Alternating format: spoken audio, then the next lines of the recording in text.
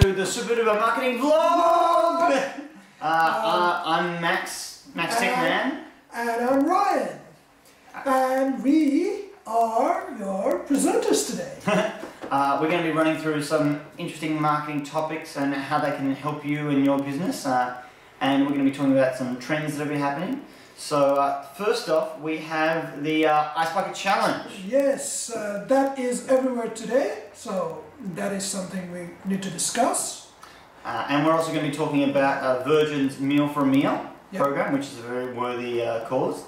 And finally, we're going to talk about ISIS, uh, the terrorist organization which has caused a lot of companies to rebrand themselves. You can't have missed the uh, Ice Bucket Challenge, which is currently going through, through some raising awareness and support for uh, ALS, ALS, yeah. or in Australia, as we call it, motor neuron disease. Yeah.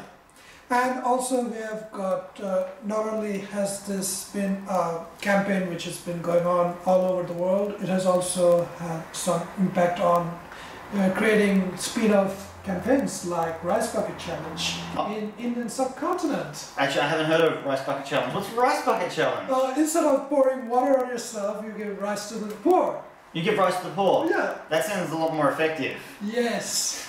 So first, uh, let's see what the Ice Bucket Challenge has been doing.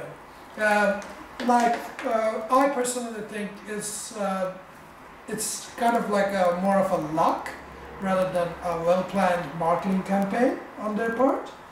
What do you think? Well, I, the, the great thing about it is that it wasn't coming from the ALS Foundation; it came Yeah. from the people. So that is a benefit. They didn't have to. Of course. They didn't have to do all that, and it has dramatically increased their donation rate. Yeah, that is correct. And also the fact that uh, uh, there was always this idea that uh, in order for a campaign to go viral, it needs to be really easy and simple, and you know, otherwise people wouldn't do it. But a campaign like this, And it's very sexy, you know. You have lots of young, uh, fit people Yeah. dousing themselves with water. That Yeah. certainly doesn't help your chances. Yeah, that does. And also, I guess uh, uh, it helped the ALS Foundation in the way that uh, at the very beginning of this, they got a lot of uh, celebrities involved in the process, which I guess kind of increased the Snowball, awareness snowball and effect. snowballed into uh, the social media aspect of it. The thing is, though, I do feel like a lot of people are just uh, just doing videos and not donating, and it's really important that to have that donation aspect to Yeah. it. And you can't, yeah. Otherwise, it's just dousing yourselves in water. Uh, that's true, and also like it needs to be seen like how much of the donation. Like I've seen they've uh, got more than 40 million donation in the period that the ALS campaign has been running. Like how much of this percentage of the donation is actually being used in research? That's very important. That's very important. Well, there's one campaign that I think is actually really, uh, actually better than uh, the uh, Ice Bucket Challenge, which is the Virgin Meal for a Meal uh, campaign that they're currently doing. Uh, we, uh, Virgin uh, basically, uh, if you take a, if you do go to a restaurant, if you make a nice meal and you take a photo of it and you, you share it on the on on Instagram or Facebook, your social networks, and you put the t- hashtag meal for a meal, uh, they will donate a meal to somebody who can't afford a meal through the Oz Harvest Foundation. Right. Okay, so before we go into that, I just wanted to point out about the Rice Bucket Challenge. The Russia, yes. Yeah, the, which is a spin-off, uh, which started in the Indian subcontinent. I Okay. Wh- Which, yeah, yeah. Uh, it uh, started like in last one or two weeks, I guess, if not earlier. Okay. But I uh, came across it and I saw a lot of people instead of pouring water on themselves, they're actually donating uh, rice. Well, if you'd like to see us donate to the Rice Bucket Challenge, leave a comment in the comment section. Yeah, that would be a good idea, and uh, that is something I guess is connected to Mill for a Mill as well. Yes, yeah. Well, the thing about Meal for a Meal is that uh, Virgin, Virgin, it's really interesting. Each, um, each, ha- it's Each hashtag contributed, and it's up to a maximum, I do believe, of 400,000 meals they can donate through Oz Harvest. And uh, Oz Harvest is great because they're, they're recycling food from other restaurants or Right. Coles or Safeway Yeah. that aren't going to use them. And I think that actually it's better because Yeah, it's a guaranteed amount and and uh, like it is actually the whole amount is actually going towards providing meal uh, for people in need. Whereas in terms of Ice Bucket Challenge, uh, like I've seen some of the studies which said like uh, maybe 25% or even less of their annual income was actually used for research. Hmm. Whereas Meal for a Meal, it's like guaranteed to help the poor.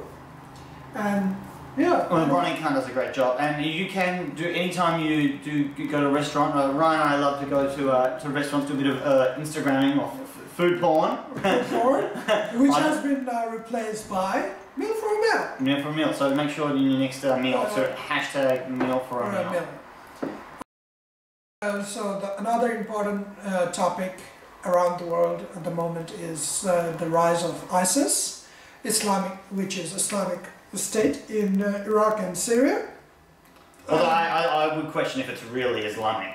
Ah, that is uh, uh, certainly something up for debate, uh, and it is because they're using the name of Islam to promote their political point of view, which uh, is very questionable in the sense that they're just picking and choosing words to justify their action. They're not really acting in Islamic behavior.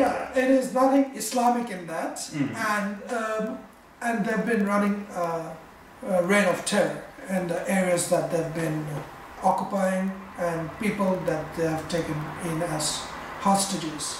In terms of like you might have heard of or read about or seen the videos of the beheadings that's been going on and all the mass murders and everything and it is really shocking and people under their rule are really suffering at the moment. Another, another person who's also suffering is, uh, is ISIS. ISIS. The other ISIS. Like, and I think it's been like more than one company. There's few companies, but uh, the ISIS. major major one was a, a internet payment company Called- called, ISIS. Yeah, called ISIS. Yeah, and they've built, uh, like, uh, used, invested so much on on their brand. Into their brand. It's a worldwide brand. It's a worldwide brand. It's their app is available in the app stores or Google Play, and all of a sudden they're in this dilemma. And what about what about um, Windows Store? Is it available on Windows Store? Uh, Does that even count as an app store? uh, yeah, that is also up for debate. Maybe, maybe if you want us to discuss that, leave a comment. But no, so they actually announced that they're going to be changing their name Yeah. from ISIS because they Yeah. don't want to be associated with um, the terrorist organization. Yeah, and that is something like, um, I mean, like they've spent so much on their brand and building the, the brand. Mm. It's not like it just happened overnight, but uh, suddenly overnight they're finding their name to be associated with something that doesn't represent them. That's really challenging. I mean, I, I, uh, actually, another the band Shihad, uh, a lot of- actually, Shihad changed their name because they, they thought it sounded too much like Jihad. They changed their name. So that's the only one. Oh wow, I didn't hear about Yeah, that. yeah. I'll, I'll put a picture up of them. Right. Uh, and um, so I, there's some other other things. So if, if, if you've ever had an experience of a if you've had to change your, your brand name due to some, something else really outside of your control, yeah. uh, let us know. Let us know because it's so frustrating when you put all that effort into it. That's true. And uh, in terms of like, apart from that mobile uh, payment company, uh, there's uh, also this l- uh, luxury apartment uh, s- uh, real estate company in Florida, uh, which have found themselves to be in that dilemma as well.